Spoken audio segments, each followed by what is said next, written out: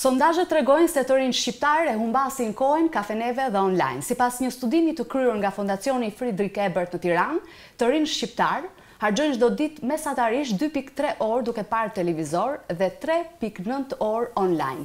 Por nuk janë vetëm këto aktivitetet e vetme. Kafenetë zënë një pjesë të konsiderueshme të jetës së të rinjve shqiptarë. Sipas studimit në fjalë të publikuar së fundmi, gjysma e të rinjve të pyetur e kalojnë shumë shpesh kohën e lirë duke frekuentuar kafene dhe lokale, ndërkohë që njëzet e një për qind e bëjnë këtë me raste. Për të folur rreth kësaj teme, prezantoj të ftuarit e mi, Marsel Lela skenarist, autor, Ester Proseku, studente dhe Frenklin Metushi, student. Mirë se na erdhët në studio. Mirë se, mirë se ju gjetëm. Po e shijoj me një çaj se besoj që kafen e keni pirë me me kohë sot. Dy. Shumë temë interesante që kjo që kam zgjedhur edhe flitet shpesh që shqiptarët e harxhojnë kohën e lirë shumë kafeneve.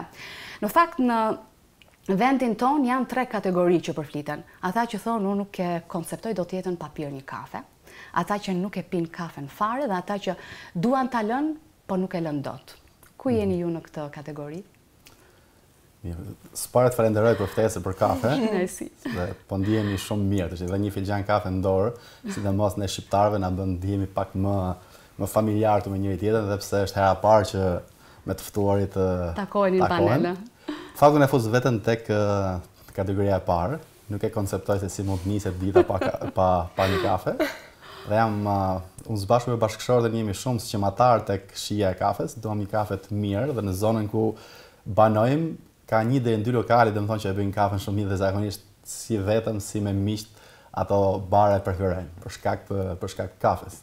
Jeni besnikë të kafes. Shumë besnik. Shumë besnikë të kafes. Ester? Unë jam uh, e re në kategorinë e parë, s'kam shumë që jam futur tek rrjeti i atyre që pinë. I kafepirësve profesionistë? Po. është bërë është bërë hobi im, mund ta them ose nuk e konceptoj dot fillimin që kur kam jam kam filluar të jem studente. Um, gjithmonë e kam pas pëlqyer erën e kafes, por nuk e kam e kam konceptuar dhe jetën pa kafe. Mm -hmm. Por nuk do ta konceptoja tani pa kafe jetën dhe nuk jam duke tentuar ta lë sepse nuk jam aq e obsesuar ose nuk e tejkaloj mm, um, numrin e kafeve në ditë. Një më mjafton edhe një me shoqëri, një shoqëri e ngrohtë e, e mm -hmm. një bisedë e këndshme ose me një libër do ishte në një cep po. të mhm. të ishte gjëja më e bukur. Mhm. Franklin, futesh edhe ti tek po. shumica e shqiptarëve apo je ndryshe? Ah, jo, faktikisht do doja shumë të isha ndryshe, por ah, sigurisht edhe unë jam te kategoria e parë. Unë ah, ka faktikisht konsumoj kafe mhm. disa në ditë, edhe për shkak të impenjimeve dhe të gjitha gjërave dhe faktikisht unë nis kafen që në mëngjes, pi një turke në shtëpi, qoftë me mamin ose me gjyshen. Dhe normalisht gjatë gjithë ditës edhe kur ushqehemi gjithmonë kemi atë mentalitetin dhe atë idenë që duhet të pimë një kafe. Mendoj që varësia ndaj kafes është jashtëzakonisht shumë e fortë, por mendoj që në një ardhme të shpejtë mbase dhe mund ta shikojmë jetën pa pa kafe. Po lind pyetja pse dalim në kafe? Çfarë na tundon? Tani unë dëgjoj rëndom të thuhet që nuk krahasohet kafja e lokalit me të shtëpisë, pra është më e mirë në lokal, se sa ajo në shtëpi ku jemi ku jemi mësuar. Ndoshta për ty është ndryshe, Varet, se e nis në familje. gjithmonë varet nga nga nga preferencat. Të them të drejtën, sa më shijon ajo kafja turke në shtëpi nuk më shijon fare ekspresi në kafene. Kjo qenka e kundërta për ty. Po ka dhe nga ata që thonë, ne i kemi lokalet sa zbresim në katin e parë të pallatit, aty në cep edhe e kemi më mirë, se në vendet e tjera duhet me makinë të shkosh edhe të kesh një kafe për të pirë. Plus që shumë pjesa më e madhe e shqiptarëve e quajnë normal çmimin e një kafeje, që që varion pesëqind, gjashtëqind, shtatëqind e mbi një mijë në disa nga lokalet më të mira të Tiranës. Pra ka justifikime të ndryshme, ju si mendoni? Jo, ka justifikime të ndryshme, është e vërtetë, por unë shihet shihet qartë që kafenet, baret janë biznes shumë fitimprurës për vetë faktin se mund kesh Ti e the vetë sapo zbret në katin e parë të pallatit mund të kesh disa kafene dhe janë që të gjitha plot. Mhm. Edhe çmimet nuk besoj se, domethënë, nuk besoj se ndikon shumë tek tek konsumimi i kafes, sepse unë jam i mendimit ë që konsumimi i kafes për një për një popull që konsumon goxha kafen, mm -hmm. do të bënte sakrifica Edhe lekun e fundit do e ruante për një kafe. Edhe kjo dihet, domethënë, është parë. Por nuk mendoj se kanë çmime të mëdha, domethënë, se kanë një, një kafe ka çmim të madh, duke krahasuar me vende të tjera. Uh, ku dimë, mund të përmend Holandën, ku mm -hmm. mund të them që bëhet kafja më e keqe në planet, por një kafe shkon në 5 deri në 6 euro një kafe, ose Rusia oh. që shkon në, në Moskë, mm -hmm. në Shën Peterburg 13 dollar kafja. Por kjo vjen si pa, kjo vjen edhe edhe në bazë të ekonomisë së atyre vendeve. Mm -hmm. Normalisht nuk por do kisha dëshirë që ta kapnim ta kapim tek tradita çështjen e kafes në në Shqipëri për shkuar pastaj tek problematikat. Po besoj se do ta prekim në vazhdimësi. Ester, si e justifikon ti daljen në kafe? Përveç, unë besoj që njerëzit, mhm. përveç asaj dëshirës që, për shembull, Frenkli e ka të nevojshme, sepse ka impenjime të shumta dhe nuk do që ta zërë gjumi gjatë një sesioni të gjatë në gjërat që në evenimentet që shkon, ose ai e ti ndoshta e shijon me vërtet një kafe të mirë, por mendoj që në Shqipëri një gjë tjetër që është e ditur mbas kafes është e folura. Është uh, mentaliteti që të flasim, të flasim, të flasim dhe të bëjmë më pak, më pak, më pak. Um, kafja është shumë e mirë. Unë, me gjithse e kam dëshirë shumë kafen, um, um, nuk dal aq shpesh në kafenera. E kam më shumë nevojë dhe më shumë kënaqësi në një bisedë, se sa një, një, një justifikim për të, t'u larguar nga shkolla, për t'u larguar nga mësimet, për t'u larguar nga puna, që të takoj një shoqe për kafe. Është bërë si një justifikim dëshira e kafes për të folur, folur, folur, siç thashë, dhe për t'iu shmangur pak po. atyre përgjegjësive pra të ditës. Pra ti ulesh në kafe sepse ti ke një punë, do të takosh një mikeshë tënden, mm. domethënë, nuk është se ti mm. po rri në shtëpi kot, okej, të dal të rri te kafja, se më pëlqen më shumë ambienti aty. Do preferoja më shumë të merja një libër, të lexoja diçka jashtëshkollore, se sa të dilja për kafe dhe të flisja për... Po. Kurse Franklin për ty besoj se kafja është e domosdoshme sepse e shoh se je shumë i zënë edhe me aktivitete të ndryshme nga biseda që kishim pak më parë je tërë kohën full time je je i zënë. Po po. Përsa i përket pjesës së kafes të drejtën të jem i sinqertë pavarësisht se më pëlqen shumë unë E kam inat atë pjesën që gjatë gjithë kohës të rrimë vetëm kafeneve dhe s'e përdorim kohën ndryshe. Unë faktikisht e kam të domosdoshme të ulem në kafene, ulem shumë shpesh nëpër kafe dhe për shkak takimeve dhe impenjimeve që kam qoftë në bazë të punës ose angazhimeve të tjera vullnetare që kanë të bëjnë me pjesën e rinisë. Unë ia them domosdoshmërisht, shumë shpesh edhe shokëve të mi, shoqeve, prindërve, të afërmve, kujtdo që Nuk mendoj që është produktive që të kalosh kohën vetëm kafeneve dhe vetëm duke folur, siç tha Esteri ose siç tha edhe Marseli. Mendoj që gjëja më e mirë që neve të rinjtë, sidomos duhet të të kemi është që të kalojmë sa më shumë kohën me gjëra produktive dhe mund të dalim në natyrë. Është më mirë të dalësh të bësh një shëtitje te liqeni, Mhm. të marrësh diçka me vete nga shtëpia, një lëng, portokalli ose ndonjë gjë dhe jo më të pimë kafe. Sepse mhm. pavarësisht se na pëlqen shumë një kafe, unë di mhm. që nuk të bën shumë mirë dhe për pjesën e shëndetit. Mos jemi shumë miqësorë ne shqiptarët e preferojmë të rrimë me shoqërinë, bëjmë muhabet, mblidhemi, ëh. Kjo është e vërtetë faktikisht. Unë mund të marr një shembull, unë isha në Finlandë dhe kafe aty normalisht në bazë të, të ekonomisë së vendit kushtonte shumë herë më shtrenjtë se këtu. Nuk më pëlqeu fare të jem i sinqertë. Është një kafe shumë e hidhur. Mbase kjo ka të bëjë dhe me faktin që këtu duke qenë se gjithë vendi jonë, pothuaj edhe i pëlqen kafeneja dhe janë shumë të afërt me njëri tjetrin, normalisht edhe ajo të shijon. Se aty njerëzit janë çik si shumë të ftohtë dhe flasin shumë shkurt. Jemi popull më social edhe. Ka vërtet shumë problematika po jemi njerëz social, kjo është e rëndësishme. Ka, në fakt është jemi jemi goxha popull social dhe kjo është gjë shumë e mirë. Por ajo që tha Franklin është e drejtë, Unë do të unë do të preferoja që të kishte më shumë biblioteka edhe parqe se sa kafene. Dhe Shqipëria ka ka kafene me shumicë, por nga këto të dytat ka, lë për të dëshiruar.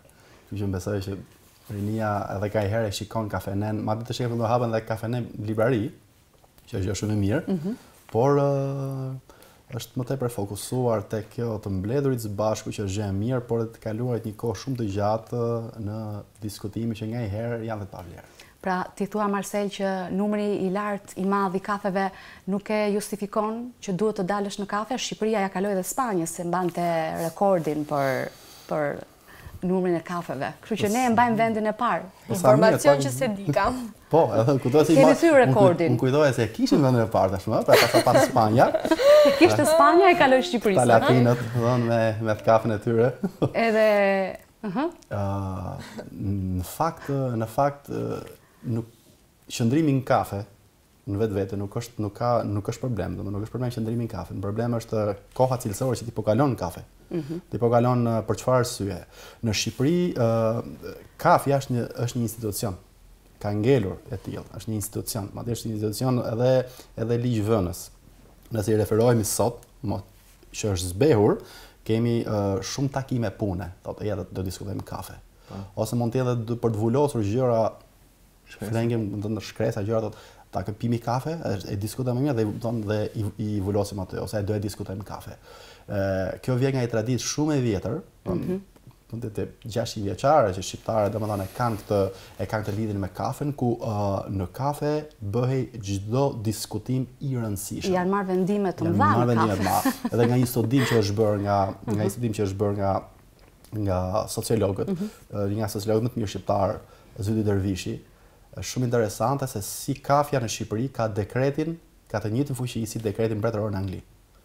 Kur do të do jap vetëm një rast në në Shqipërinë e Veriut, shumë shekuj mhm, përpara, mm -hmm. kur mhm. kur ishte rasti për të për të kërkuar dorën e një vajze, kur prindërit e djalit shkonin atje, gjithçka vendosej përpara se të vetëm pasi kishte ardhur kafja. Edhe shumë interesante është kjo, nëse kafja ishte e hidhur. Mhm. Do të thotë që kjo punë nuk do të bëhet dhe ti nuk ke të drejtë ta hapësh fare si muhabet, ndryshe ka pasoja. Edhe e kuptonte vetë këtë gjë. Nëse kafja ishte e mesme, të jetë një lloj shtegu, ti mund ta hapje po duke pasur shumë kujdes. Por nëse ishte e ëmbël, do thotë që e ka dhënë një po përfundimtare dhe ti mund ta hapje pa problem. Interesante s'e kisha dëgjuar këtë. Okej. Dua të lexoj disa të dhëna, aktivitetet më të zakonshme që të rinjtë bëjnë shpesh në kohën e lirë. Çdo ditë ose disa herë në javë, janë dëgjimi i muzikës 85% e bëjnë shpesh, dalja me miqtë 70%. Shikimi i filmave shtatëdhjetë e dy për qind, relaksimi dhe kalimi i kohës me familjen e tyre nëntëdhjetë e dy për qind. Duke qenë se kafet zënë vendin e parë, mendoni se ne jemi brumosur, është një kulturë, është një traditë që që e kanë bërë të parët tanë dhe ne vijmë në vazhdën e kësaj, Franklin? Unë për këtë pyetjen që bëre ti është shumë interesante të thënë drejtën, unë mendoj që çdo gjë ka të bëjë me mentalitetin. Mhm. Ëh, për fatin tonë keq, ne kemi probleme të theksuara që vijnë si pasojë e mentalitetit dhe normalisht duhet ta ndryshojmë këtë lloj gjëje. Përmende edhe disa statistika, ë uh, unë faktikisht si i ri normalisht duhet të shoh shumë filma, e kam pamundur të shikoj filma, shikoj shumë rrallë, edhe për shkak të impenjimeve dhe gjitha gjërave tjera. Normalisht këto kohë të fundit edhe atë përqindjen e lartë që është që kalohet me shoqërinë se është gjë shumë e mirë, mm -hmm. faktikisht shoqërohesh, krijosh grupe shoqërore e gjëra të tjera. E kam pamundur. E kam pamundur për shkak se jam në një fazë delikate të moshës, që normalisht duhet ta kaloj kohën sa më shumë me gjëra produktive, të mësoj, të gaboj, të mësoj sërish dhe normalisht të shikoj një perspektivë më vizionare për veten time. Dhe normalisht nëse unë shpenzoj kohën time gjatë gjithë kohës vetëm me shoqërinë, vetëm duke ndetë në kafene, vetëm duke shkuar në kinema ose duke bërë këto gjëra që thjesht japin satisfaksionin e momentit, normalisht unë do kem probleme më pas. Kjo është një zgjedhje, po. Kështu që mendoj që gjëja më e mirë që mund të bëjnë të rinjtë është sa më shumë studime, të bëjnë masterë, trajnime të ndryshme, mhm. të dalin të njohin njerëz të rinj, sepse ndonjëherë uh, rastësia është shumë e rëndësishme dhe thonë që është mbreti i së ardhmes. Po. Madje shpesh një pjesë të rinisë shqiptare i kanë quajtur edhe dembel. A mendoni se ka të bëjë dhe me prioritetet se sa ti personalisht zgjedh t'i japësh prioritetin e duhur diçka tjetër? Faktikisht, rinia shqiptare është dembele. Ky është fakt. Unë kam hasur vetë, takoj shumë të rinj, mbase njëqind, dyqind veta në ditë, sepse më lidhet edhe puna dhe kam atë pasionin që të të zgjohem në mëngjes, në shtatë e gjysëm, në tetë dal nga shtëpia dhe unë vij në darkë, në orën dymbëdhjetë të darkës. Saqë edhe ime më shpesh është arsimtare dhe më thotë, po ku je more bir i nënës, se s'po vjen në shtëpi s'po të shohim gjithë ditën. Është një gjë që mua më pëlqen dhe unë e bëj me pasion. Mendoj që janë dembelë sepse këtu ka humbur shpresa të thënë drejtën. Shohim atë pjesën e keqinformacionit, keqinterpretimit nëpër media, këtu nuk bëhet, këtu s'bëhet, kështu është atje, e duhet miku, duhet ky, duhet ajo.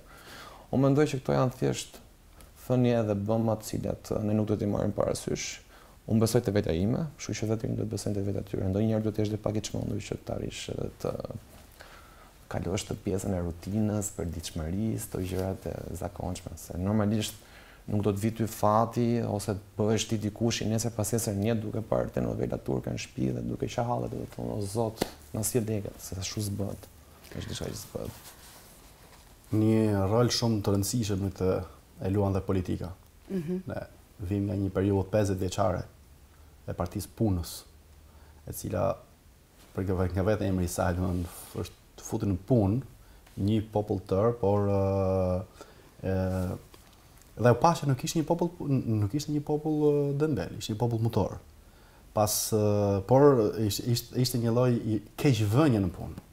Keqvënie, keqvënie në punë e, e popullit, sepse nuk bazohej, nuk bazohej në liritë dhe të drejtat e individit, por bazohej një lloj skllavërimi modern. që që pasoi me atë çfarë pasoi në fund të viteve 90. Pastaj erdhi ajo që quhet pluralizmi në Shqipëri dhe ajo çfarë iu dha shqiptarëve si zgjidhje ishte emigracioni. Mm -hmm. Ishte emigracioni dhe emigracioni u bë burimi kryesor i të ardhurave në Shqipëri. Do njerëz që punonin me të vërtetë jashtë, edhe madje përdoret sot dhe sot e kësaj dite në Shqipëri që ne kur dalim jashtë jemi punëtorë, por brenda jemi jemi dembelë, sepse ka munguar, ka munguar nga instancat politike një inkurajim i njerëzve, se njerëzit kanë nevojë për një inkurajim, kanë nevojë për një shtysë, kanë nevojë edhe për kanë edhe kanë nevojë edhe për disiplinë. Që politika duhet t'ua japi, domethënë njerëzve në domethënë në këtë gjë. Edhe por pastaj kjo mungesë inkurajimi, kjo mungesë qëndrueshmërie, domethënë në, në për, për të punuar në këtë vend, do pasohet në atë që quhen kafene, edhe thashetheme të përditshme, është ajo po, që tha Franklin, që fillojmë, është shumë e dhimbshme ajo që tha Franklin, është e vërtetë në fakt që ky vend nuk bëhet. Ky s'bëhet. Është është dhe edhe kultura e punës po, mendoj. Duhet të rikthehet, po kjo kulturë pune duhet të rikthehet tek te shqiptarët. Se në fund të fundit themi se edhe politika dhe populli janë në politikanët nuk e kanë sjellë nga Antarktida. Po. Nga populli kanë dalë. Se jemi mësuar ne që të mbarojmë ato 8 orë punë dhe kam po. mbyllur punën për sot tani. Unë nuk dua të punoj më. Ndërsa në vende të tjera, për shembull në Amerikë, atje punojnë me orë të zgjatura, kanë po, komplet sistem tjetër. Po, edhe Suedia po, që 6 orë punë ke. Po, vendet vendet skandinave, mhm. flasim për vendet skandinave pastaj, dhe vendet e Beneluxit që kanë një kanë disa politika të majta djathta, i kanë kapur shumë mirë nga dyja palët dhe mhm. kanë ditur t'i qepin shumë mirë, edhe kanë krijuar një sistem Fantastik. Po, po, po e pyes pak Ester për, për uh, prioritetet, uh, se sa koncize e korrekte je ti me këto pjesë. Je në plane afatgjata për veten tënde je studente? Um, um, tani po, uh, në këtë periudhë kam, uh, jam duke menduar për të ardhmen time, um, jam duke menduar çfarë do bëj me këtë jetë, uh, jam duke menduar ku e shikoj veten time, mbas dhjetë vitesh. Edhe në fund është ajo pyetja çfarë do ti të bësh ti Ester. Ëm, por nuk e kam pasur gjatë gjithë kohë, gjithmonë këtë ndërgjegjësim të prioriteteve. Adoleshenca ime ka kaluar normal si çdo adoleshencë tjetër e të një të riu. Ëm, duke duke shkuar në kinema, mhm. duke kaluar me shoqërinë. Ëm, edhe është një mbret i urtë ka thënë, ka një kohë për çdo gjë. Ka një kohë për të humbur, ka një kohë për të fituar. Ka një kohë për të qeshur, ka një kohë për të qarë. Dhe mendoj që koha ime nuk e qaj fare. Unë them që tani unë kam vullnetin për të ndryshuar dhe kam vullnetin për të vendosur për të ardhmen time. Edhe kjo është shpresa që mhm. Frenki tha që ka humbur. Shpresa është që kemi bërë gabime, kemi bërë sa të duash. Kam bërë gabime, kam bërë. Shpresa është që Po, unë mund të ndryshoj. Nesër kam unë vullnetin, kam unë zgjedhjen, me një zgjedhje të vogël fillon, fillon. Me një zgjedhje që të me një zgjedhje që të çohesh jo në 9, të çohesh në 6 dhe të lexosh diçka. Mhm. Me një zgjedhje që që t'i thuash uh, shokëve që gjatë gjithë kohës kanë marrë kohën tënde, duke folur, folur, folur, t'i thuash jo, sot do takohemi jo 3 orë, do takohemi vetëm gjysmë ore për shembull. Dhe më pas fillon por nuk asnjë gjë nuk vjen nga jashtë ndryshimi nuk vjen nga jashtë ndryshimi vjen nga brenda duhet që një person të ndriçohet iluminohet çka ka qenë iluminizmi ka qenë ndriçimi i mendjes dhe për ndryshim um, edhe kafja nuk na ka kafja dhe fjalët nuk kanë për na nuk kanë për na zgjidhur probleme po ne ne shqiptarët kemi kohë gjithnjë për kafe se Dua dal tek biseda që kishim më parë po. Eh, po. Marcel me të huaj që po, nëse lë një takim të premten tjetër takohemi shqiptarët e duan sot kafen tani për tani. Ishte vërtet interesante. Jo, janë eh, ata jetojnë në Shqipëri, janë misionarë mhm. dhe kur lëmë eh, unë dhe ndonjë takim për kafe, them Jeff, do takohemi për kafe, pimi kafe se na ka marrë malli të takohemi, bëjmë një dorë muhabet. Edhe Jeffi dhe e hap telefonin dhe shikon agjendën e tij. po kam këtë ditë e kam javën tjetër e kam e kam të lirë. Dhe kur fillon të diskutoni për këtë, thashë ç'është kjo? Si e keni këtë lloj kulture? Tha kështu është dhe atje, tha edhe në në Amerikë është kështu, tha që funksionon mund të takosh me të edhe pas 6 muajsh. Nëse do të lësh diçka ose pas 3 muajsh ose pas 2 muajsh, sepse ai ka një agjendë uh mhm. -huh. që do t'i rri besnik, e ka krijuar këtë. Ne në Shqipëri dëgjojmë rëndom një shprehje që çfarë bën po vras kohën. Në fakt është, në fakt është e thënë, domethënë ne as nuk e kuptojmë se sa padije ka në këtë shprehje, që në fakt ne nuk kuptojmë që është koha që na vret ne. Ne vdesim mm -hmm. në çdo moment të çuar dëm. Vdesim si individ, vdesim si familje, vdesim si uh, si popull, vdesim si njerëzim. Po. Sepse nuk uh, e vlerësojmë kohën që kemi. Ne kemi pak kohë. saqë sepse është relative, dikush thotë shumë, dikush thotë pak, por në fakt duhet shfrytëzuar kjo kohë që kemi. Po. Unë unë këtë muaj mbush 36 vjeç. Çfarë duhet të bëj unë këtë këtë vit? Këtë vit kam dy gjëra duhet të bëj. S'kam pse fus 10, po i thoj edhe Esterit. Po. Këto dy gjëra, kjo është qëllimi im. Po, pastaj do të hecesh me me me me plane pastaj. Nuk është asnjëherë vonë, mund mos kem bërë asgjë deri tani, 36 vjet, 36 vjet s'kam bërë asgjë. Keq është, ka kaluar një kohë domethënë e çuar dëm, por kam kohë, thënë, për tani për tani, mund të mund të jem i dobishëm tani. Çështja është gjithmonë duke vënë edhe të interesa të tjera përpara vetes tënde, për çfarë mund të jem unë i dobishëm. Po, Franklin, ndikon edhe ana financiare se shqiptarët që bëjnë një jetë të vakët sociale dhe nuk kanë mundësi që për fundjavë të ikin diku sepse kushton më shumë, thotë po e pim një kafe, për kaq mundësi sa kemi, dhe aty e gjejnë ngushëllimin. Po, po, patjetër, jo, për sa i përket pjesës financiare, është e vërtetë që ndikon, edhe është shumë e drejtë, por unë nuk mendoj që duhet të kapemi pas kësaj. Po. Unë për shembull dhe në bisedat e mia që bëj zakonisht me me të gjithë njerëzit, qoftë me të rinj, qoftë me fëmijë, qoftë me veteranë, qoftë me prindër, Unë mendoj që nuk është çdo gjë paraja. Paraja është e rëndësishme, të themi të drejtën, se normalisht ne pa para nuk mund të pimë dot asnjë kafe, ose nuk marrim dot një shishe ujë. Por mendoj që mund të jesh i lumtur edhe po s'pate para. Unë për shembull, ka pas ditë që kam qenë pa para fare, por kjo nuk më ka penguar mua që t'i shoh gjërat ndryshe, të çohem në mëngjes dhe të vazhdoj të gjitha aktivitetet përpara. Sepse unë mund të shkoj në bibliotekë pa para, Unë shkoj të lexoj një libër. Mm -hmm.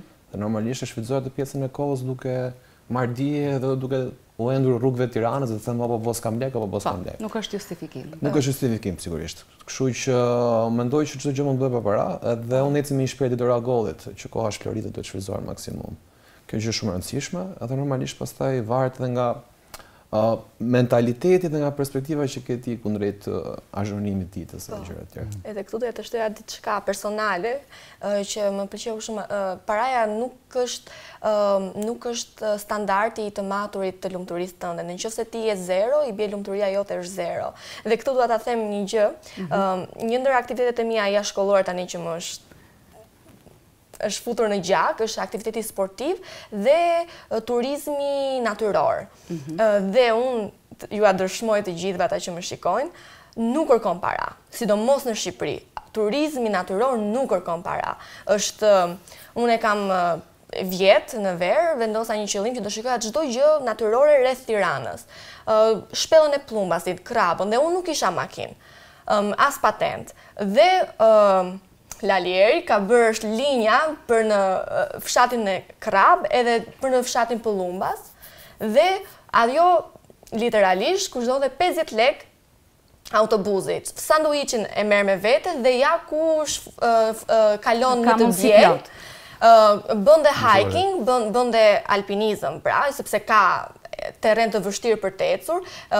Trupin e e tonifikon, vetë qetësohesh edhe shikon dhe gjëra të reja rreth Tiranës përveç kafeve. Është zgjedhje personale, aha. Është zgjedhje personale dhe financa nuk ka të bëjë fare sepse ti me 100 lekë në xhep, po 100 lekë të reja në xhep, ti mund të kalosh një fundjavë jo në kafe.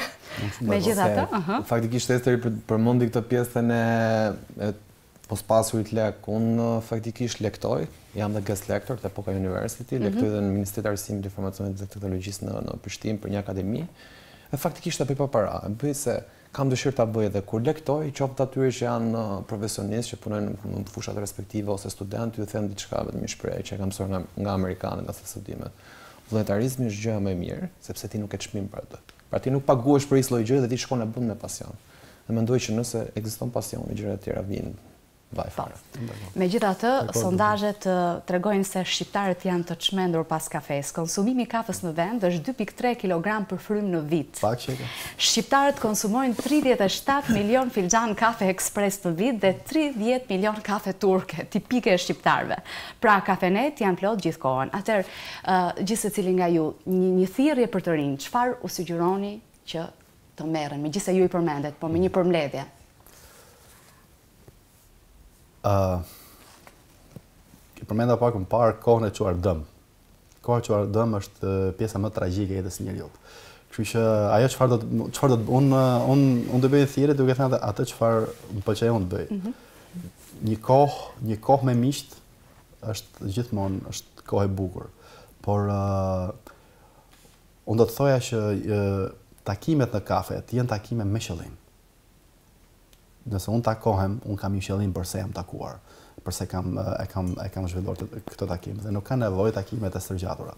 Por unë do thoja që ë, një kohë me librin dhe një kohë me natyrën, për mua janë binjakëzimi i, i, i, i diçka e vërtet mrekullueshme që do, do t'u shërbejë atyre do t'i shërbejë gjithkujt nëse e kalojnë kohën në këtë lloj mënyre. Pra, ta kalojnë nëse do ta përmblidhja me një fjali, ta kalojnë kohën duke bërë diçka të dobishme për veten dhe për të tjerët. Ester e tha që po, natyra është po. zgjedhja më e mirë. Po, po. Mund të zgjedhim është zëvendësuesi më i mirë i kafes. Dhe gjithashtu përveç aktivitetit fizik që është ndikon dhe dhe mendërisht dhe shpirtërisht, se ne nuk jemi vetëm trup fizik, jemi shpirt, mendje dhe trup. Edhe duhet të gjejmë balancën midis këtyre dhe shumë besime janë munduar ta gjejnë balancën. Por unë personalisht do thoja të rinjve që sado e vështirë të jetë që të dalësh nga rryma, se rryma të merr. Se në qoftë se shumica e bën, që shumica dalin në kafe, të shkosh kundra rrymës është shumë më e vështirë se sa të shkosh me rrymën. Por do thoja zgjidh veten tënde. Nuk është egoizëm, përkundrazi në në aeroplan ti duhet të vendosësh maskën e ajrit vetes tënde para se ta vendosësh fëmijës. Kështu që zgjidh një prioritet, bëj pyetjes çfarë do të bësh me jetën tënde dhe më pas mundohu që zgjedhjet rreth e përqark të rrotullohen rreth asaj që çfarë do të bësh ti me jetën tënde dhe mundohu t'i thuash sa më shumë jo fjalëve të shumta. Franklin, ti je me studime tërë kohën, besoj do na rekomandosh studime, studime. Po, po. Ja, unë po. faktikisht, pavarësisht domethënë gjithë pjesës së impenjimeve të mëdha që kam, mhm. uh, unë personalisht, si i ri që jam, Edhe unë në gjimnaz për shembull e kam pas vuajtur këtë pjesën që shkonte koha dëm gjithë kohës tralala, dilnim, bridhnim edhe këto gjërat. Vjen një refleksion që ndodh në në në në vetvete. Unë faktikisht më ndodhi në përfundim të bachelorit, viti i tretë. Normalisht një pjesë të madhe të pjekurisë time dhe gjithë kohës time që kaloj në mënyrë produktive s'ka të bëjë shumë shkollimi të them të drejtën. Gjithë këto trajnimet që kam lëvizur jashtë shtetit, edhe një program që jam aktualisht pjesë dhe jam anëtar, quhet EDYN. EDYN është European Democracy Youth Network. Është një organizatë e cila ka mbledhur nga pesëmbëdhjetë shtete të ndryshme të Europës që ka problematika, pesëdhjetë anëtarë. Unë faktikisht këtë aplikim e fitova online, duke qenë se kam qenë më përparë pjesë edhe në praktikë në Komisionin e Integrimit Evropian pranë Kuvendit të Republikës së Shqipërisë. Por kam kuptuar realisht dhe kam bërë atë krahasimin e Shqipërisë me vendet e tjera dhe dalloj domethënë tek të rinjtë, tek kolegët e mi që kanë një dëshirë shumë të madhe për të bërë përpara dhe realisht besojnë në gjërat e tyre, gjë të cilën unë e përmenda edhe pak më parë që këtu ka humbur shpresa. Unë realisht besoj dhe nuk e ha atë shprehjen që ky vend s'bëhet, për mua o bëhet, o bëhet. nuk ka një rrugë të dytë. Të mbështes. Dhe normalisht, kënaqësia shumë e madhe, unë besoj shumë tek vetja ime, besoj shumë tek familja ime, tek shokët e mi, tek shoqet e mia. Dhe normalisht, kjo pjesa e kafes edhe këtyre të dalurave, kot pa fre, mendoj që të të mos ekzistojë më dhe normalisht ne të kalojmë kohën sa më shumë drejt bibliotekave, mhm. drejt natyrës sigurisht, nuk na kushton gjë fare që neve dalim përditë një gjysëm orë tek liqeni, mund të bëjmë një vrap, mund të bëjmë një ecje, mund të bëjmë çdo gjë të mundshme. Mendoj që sa më shumë trajnime për të rinjtë, sa më shumë marrje dhe dhënie informacioni, se këtu realisht në Shqipëri mungon informacioni, s'ka informacion. Dhe më pas, sigurisht, rinia shqiptare në këndvështrimin tim ka goxha potencial. Edhe mua më shumë për këtë gjë më vjen keq, se të mos kishin potencial hajde de, po kanë potencial realisht thjesht duhet të besojnë tek vetja e tyre, të marrin sfida. Nuk është turp të thuash dështova. Dhe mund të përmend një shprehje. Mund të ngrihesh përsëri, aha. Mund të përmend një shprehje të ish-presidentit të Shteteve të Bashkuara të Amerikës, Franklin Roosevelt, ka thënë një shprehje 20 janar 1945 dhe unë atë parim besoj. I vetmi njeri që kurrë nuk gabon është ai që kurrë nuk punon. Nuk punon. Unë punoj, gaboj, më pëlqen të gaboj sepse nëpërmjet gabimeve ne mund të përmirësojmë dhe të shkojmë drejt një suksesi tjetër. Kështu që. E kam shijuar këtë çaj megjithëse nuk e përfunduam edhe na u ftoh në në këtë kafe tonë. Jo, unë e piva. Po mund ta përfundoni. Ju falenderoj shumë. Mersi. Faleminderit. Edhe shijojeni çajin, shumë suksese. Vazhdoni frekuentoni kafet, mos hiqni dorë kaq shpejt. Jo. Asnjë, asnjë, askush, asnjë nga ne nuk e tha këtë. Thjesht ta moderojnë pak, do mund ta kemi. Dhe unë po i drejtohem publikut, krijoni më shumë kohë të vlefshme në ditët tuaja. Uroj që të keni gëzim edhe ta gjeni forcën tek Perëndia për të përballuar ato momente kur ndiheni keq, bosh apo çdo gjë që ju bën t'i duket pa kuptim. Kalofshi bukur!